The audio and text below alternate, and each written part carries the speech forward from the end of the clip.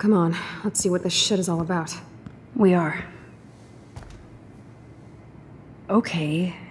A binder marked Victoria, but it's empty. Look, the next one says Kate. Oh no, Kate. No. God, I should have killed that bastard back there. Kate wasn't the first. All those binders are filled with other victims. Victoria has to be next. Nathan must be planning to dose her tonight at the Vortex Club party. Rachel. This can't be real. These are all these are all post shots, right? Right? Chloe, look at her face. She's out of it. Maybe maybe Nathan paid her a shitload of cash to do this. She probably would have. I don't think so. Why is he putting her in the ground like that? Where? The junkyard. Max, we have to find that spot now. Then then we can see what he did.